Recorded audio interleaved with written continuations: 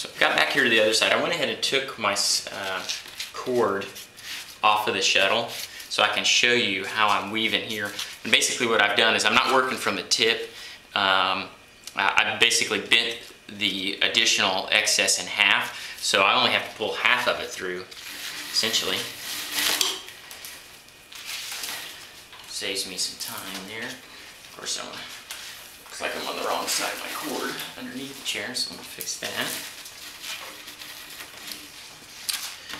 So I think I can get away with one wrap over here to fill in the corner. Let's see what that looks like. Now, we're gonna do one more. shift my, in fact, I don't like how that's coming across. I want this opposite side to be in nice and tight because I don't want that popping up. You have to be careful. You can pull on this cord hard enough to just snap it right in half. So you have to kind of get a sense for how much tension is the right amount. So let me clamp this. And uh, you'll notice as I clamp this, I'm actually catching the cord on the bottom side. I'm not clamping the top here because otherwise you'll get you'll get marks all across that cord and it doesn't look nice. Okay, so again, we're gonna come up back through this.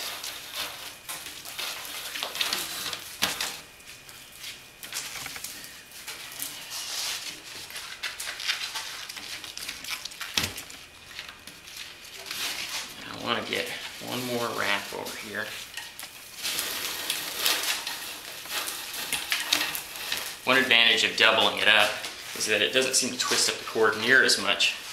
Sometimes you'll get these little knots as it twists through. All it's doing is building up the twist into one area. The, the cord is all twisted together. Okay. It's kind of loosening here.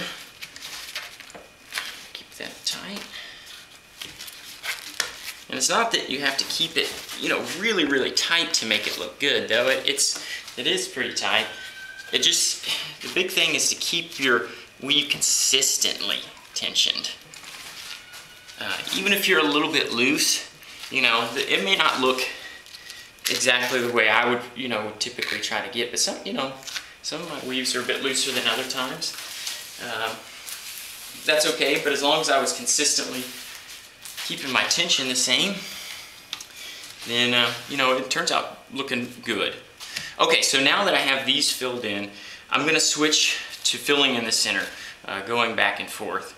Uh, since I already have a, a, particular length of cord here, I really don't need to calculate it. I think I might have enough to fill it in.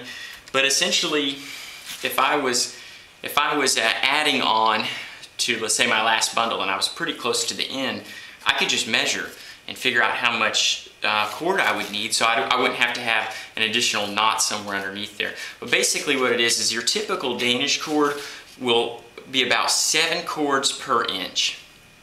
So if I measure this, let me just grab my ruler. I measure this and I say, okay, uh, that is not quite uh, two inches, but it's, you know, I might just give myself a little bit extra and let's say it's 14. It's gonna be 14 cords and of course measure the front. That's actually more. See, that's two and an eighth, so I'm gonna have to have a couple more wraps in the front. Um, so at least 15. So let's just assume we're gonna do 17. Well, uh, what you would do, pull this cord out so you can see an example. You might take another chair that you have and, and use its width between here and wrap around the bottom. But essentially what you're doing is, is if you have uh, 15 wraps you need to do, uh, then you're going to need 30 lengths from front to back. Or you can calculate it um, one full wrap. If I can get the end here, I'll show you what I'm trying to do. From there back to here would be one of those 15. Right? So if you probably notice from my elbow to the palm here is about one wrap, so you can probably calculate on most chairs going like this. Saying one, two, three, and so forth until you get up to your number. And then if you do one or two little wraps extra, then you know you certainly have enough length. And what that can do is, because you can typically hide all your knots in this area, under between the, the weave, and then it eliminates it. Don't try to hide them in these regions between the wrap because it pushes this because it's so thin. But over here you have this void. In fact, I have a knot probably landing about right there, but you can't even see it, which is good. And so if you get to this point, you calculate just the right amount that you need, then you can just about fill all this in, and the only knot you have left is right at the end. But let me get to showing how we wrap from front to back. So we're gonna come up through the center.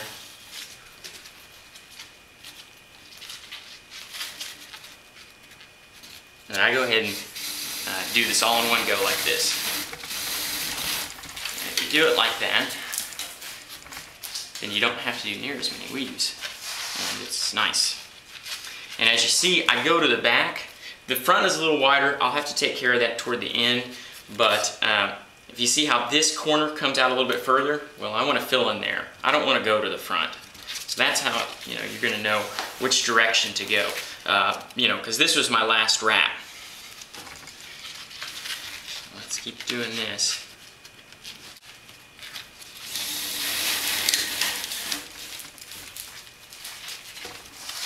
Usually I'll go almost all the way across. Uh, yeah, I don't want to, I don't have to get too much, but this is about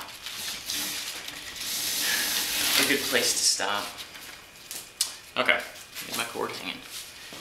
So I usually start working from the side. Normally I'd probably work on that side, but the camera's there, so I'm not going to. So I would work on the side so I could, well, you'll see. across here, it's pretty easy, right? See how I push there?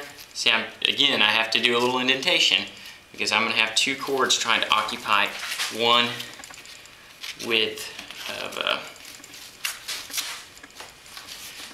cord space. In here, I actually want to be careful not to do too much tensioning side to side because if I put a lot of tension, I'm going to flex this these rungs in and then it's going to loosen all this wrap out here and it's really easy to do it. You can build a lot of tension in here. So really the only place I want to put tension is going that direction to put a little crease. Uh, and these I just want to keep snug is really what I'm trying to do. Just keep snug, keep consistent pressure. Um, so this is probably where you put the least amount of tension. In fact, you probably put more tension at the beginning of your weave than any other place. You probably slowly release tension as you get toward the end of your chair because out here, the more tension you have, again, you, you even just in your standard wrap, uh, you're going to flex this rung, and you, if you're not careful, you'll kind of loosen up some of the weave here. You're, you're bound to do it anyway. Uh, on every chair, when I'm done, the wrap that's in this region is always a little bit looser than, you know, other spots, it seems. Okay, so I want to show how to um, connect the cord together. Probably would have been good if I'd have done this earlier on in the video. But anyway, uh, this is really the proper way to do it, or the way I do it, and I never have any knots come loose. Um, so basically I'm going to make a loop in both ends, uh, the cord that's attached to the chair and then the cord that I want to add on. And uh, I go ahead and bite onto it. I want to get it a little bit wet so that the, uh, the knot comes together tight.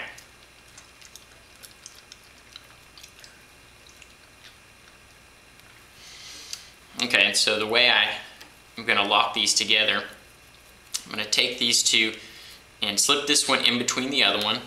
I'm going to kind of twist it around it to the opposite side. and I'm going to slip that loop, the end of the loop through. And so as you can see, what you end up with is just these two cords coming through that, these two cords coming through the center of that loop, and then they come together. And you just go ahead and nip off the excess. I have my scissors handy, but make sure and cut the proper part of the cord. You can cut these up pretty close because, like I said, this knot, especially if it's wet, it uh, really gets stuck together and you can't take it apart.